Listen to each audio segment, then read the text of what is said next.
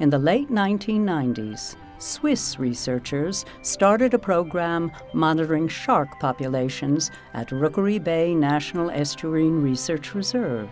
The purpose of that 20 year long program so far has been to look at the fish communities in three bays in the 10,000 Islands and evaluate maybe how those fish communities have changed over time in relationship to the Picayune Strand Restoration Project. The Picayune Strand Restoration Project is Florida's largest hydrologic restoration project. This project involves removing roads, canals, and other man made structures.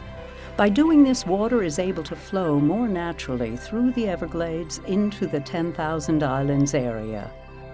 We can show what the change in those fish is going to be over time, how they use these systems differently as the watershed begins to restore through the area.